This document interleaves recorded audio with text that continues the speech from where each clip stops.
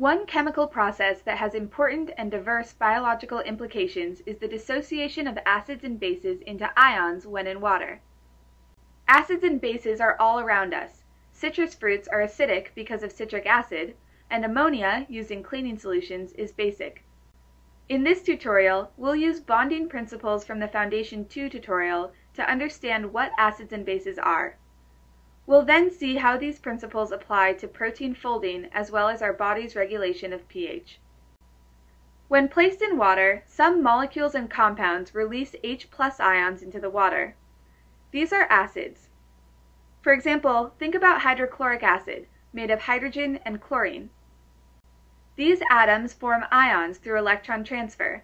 Hydrogen transfers one electron to chlorine, resulting in full valence electron shells for both ions.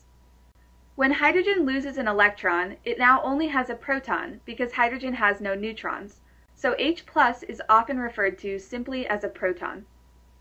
In pure hydrochloric acid, these charged ions form ionic bonds. But in water, more favorable interactions can be formed if H associates with water molecules instead of with chloride.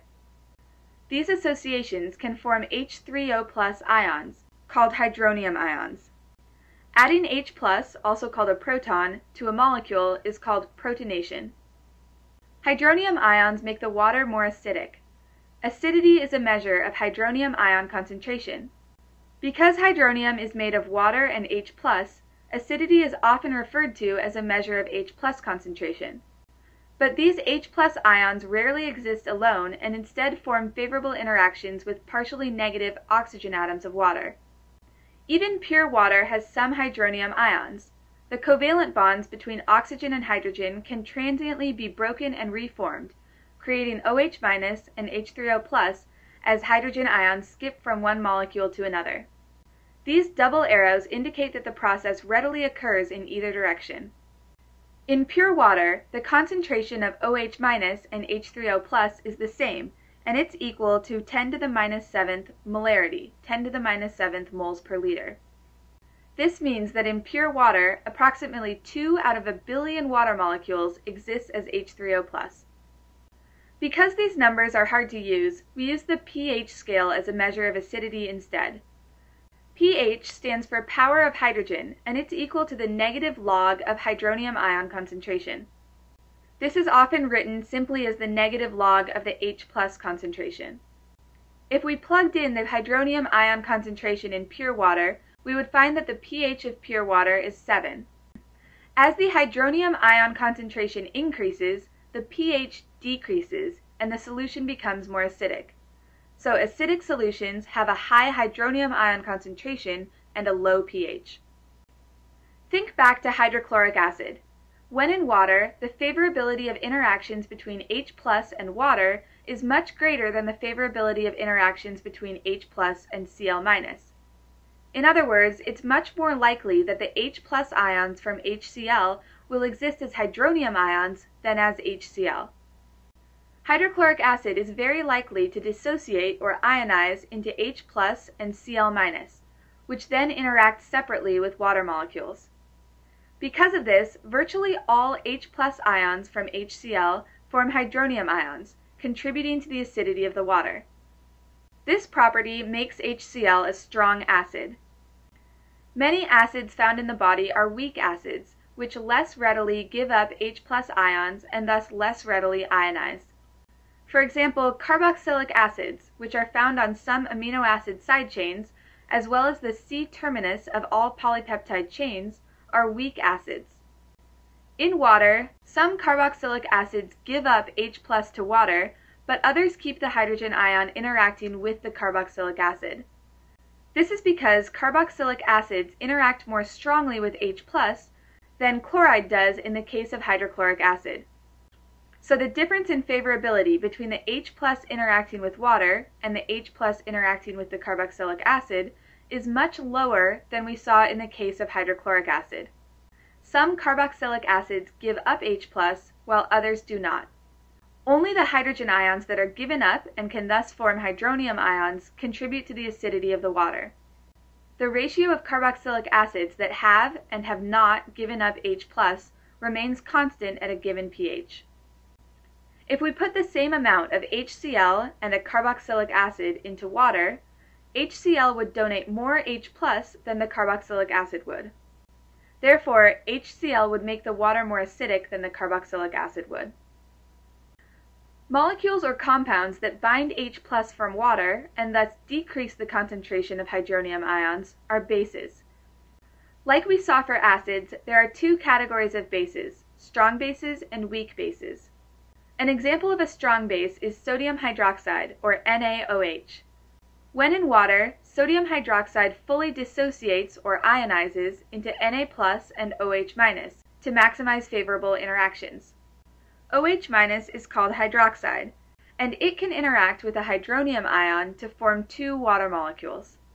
This converts a hydronium ion into a water molecule, which decreases the hydronium ion concentration decreasing acidity, and thus increasing pH. Remember that because the pH scale is the negative log of hydronium ion concentration, a decrease in acidity is an increase in pH. Most bases in the body are weak bases. An example of a weak base is an amino group, or NH2, which is found on some amino acid side chains, the N-terminus of polypeptide chains, and nitrogenous bases. The nitrogen of amino groups can interact with a hydrogen ion to form NH3+. This hydrogen ion could have come from hydronium, leaving water, or it could have come from water, leaving hydroxide.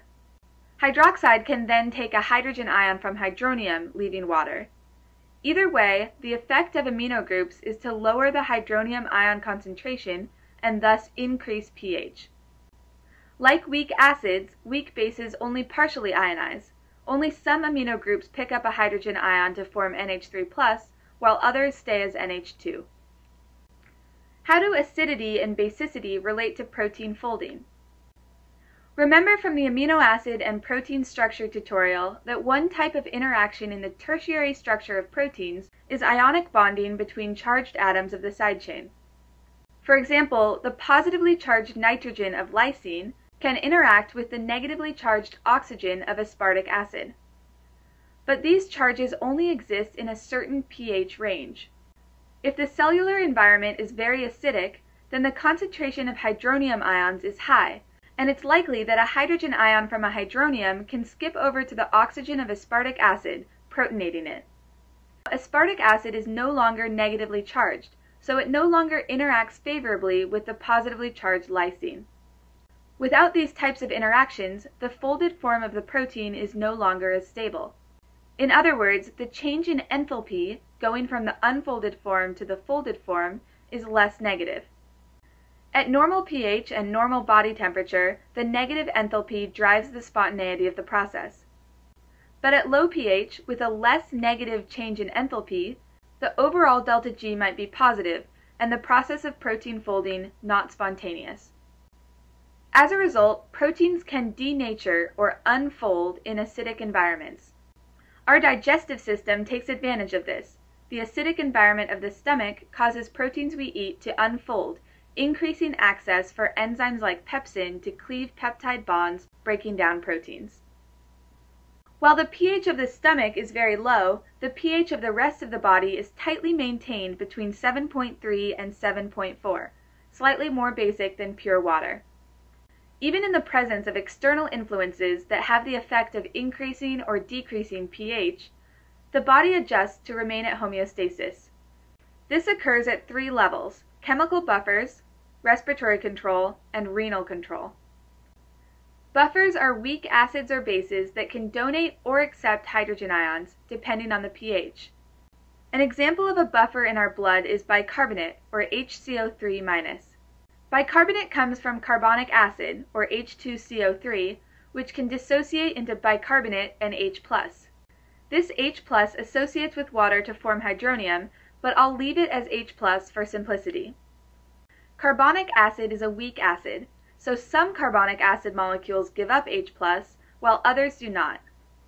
Under normal cell conditions, the ratio of carbonic acid to bicarbonate is about 1 to 10. For every carbonic acid molecule, there are about 10 bicarbonate molecules, and thus 10 H ions that came from that dissociation. But imagine the pH of the blood decreases, In other words, the hydronium ion concentration increases and there's more H plus around. As a result, more bicarbonate ions combine with H plus from hydronium to form carbonic acid. This decreases the hydronium ion concentration, and thus the pH increases. So buffers respond to a decrease in pH by increasing pH.